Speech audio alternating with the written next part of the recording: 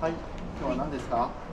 今日はですねクラブは必ず体の前に習ったんですね、はい。こういうふうにこういうふうにでなのでこのまま行ってこのまま行く合ってますかで習って私はずっとこの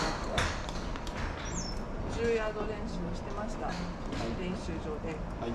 こうしてそしたらねはい。トコトコトコトコトコトコといらっしゃってはい。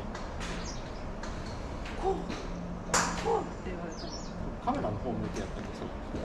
え私はどういう練習をしてたんですか。はい。私はこうでしょ普通にここに体の正面をキープした状態で。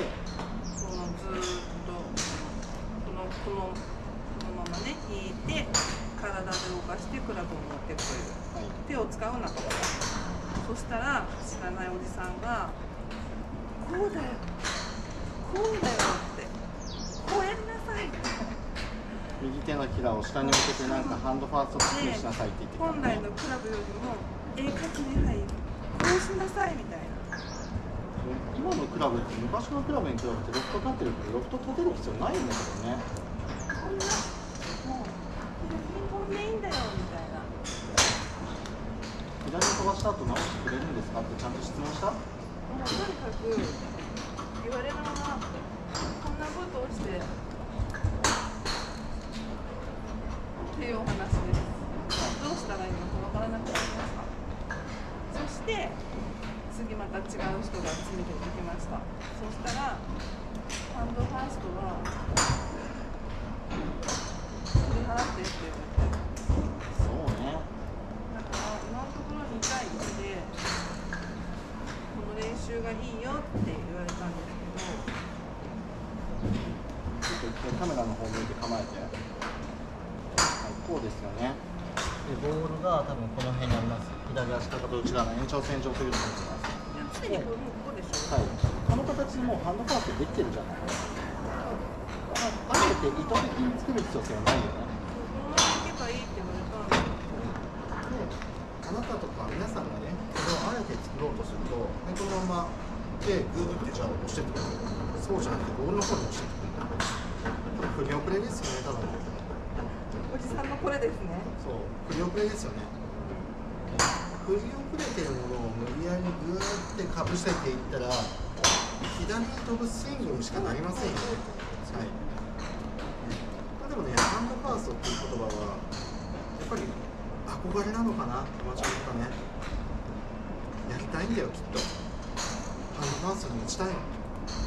ただ言わせてもらえば構えてる時点で両手は左目の下にあります。はい。で正しいアドレス作ってこういう感じですよね。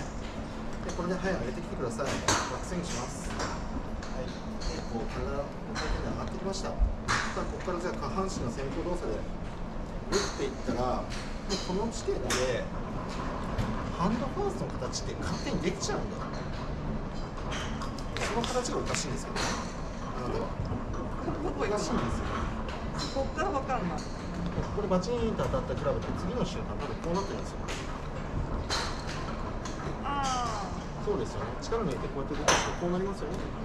ではいそのまま肩こっち回ってきてはい左肩の上に上がってはい右足つま先のスピードフィニッシュっていう形になるのが自然な形なんですよ。あ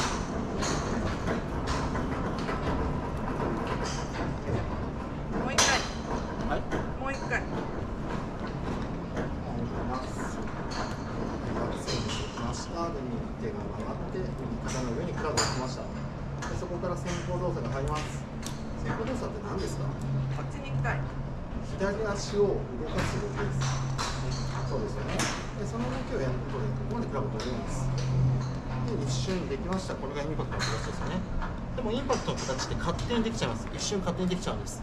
なので、作ろうとしないでください。で、作らずに、そのままバーンって左肩に振り抜きます。はい、こうですよね。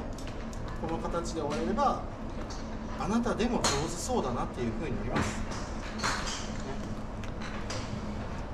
ね。えあなたには5年間同じことしか言ってません私は。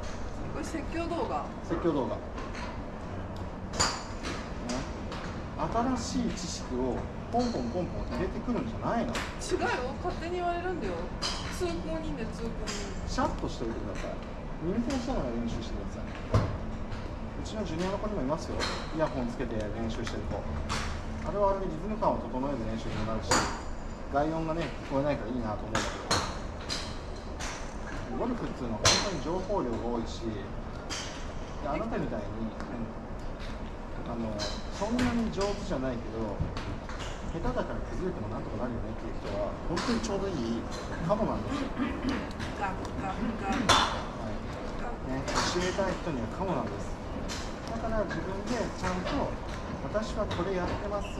こういう練習をしてるんです。これが正解です。してますって言ったの。じゃあこれが正ク解で。ラブの前にって言ったの。そしたら飛ばしたいんでしょ？飛ばしたかったらハンドファーストだよって。それを無視する勇気も必要です。ハンドファーストって言われたらこんなことやあこれこれはやるなって言われてますとか言えばいいんです。全然そこで僕の名前出してもいいですこんなことやったら左にしか行かないからやめなさいって言われましたって言いなさい、はい、そういうのが大事だと思いますはいはい、じゃあちょっとそれ意識して打ってみましょう。え営業打つのじゃあ打つよ。はいは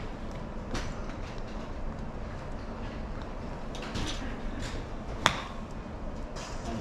で、まあトップしたけどまっすぐ飛んだじゃない。ね。まず練習場でナイスショットだって求めてしょうがないんだから、こういう動きを意識してやりましょうねっていうのを決定しましょう。はいはい。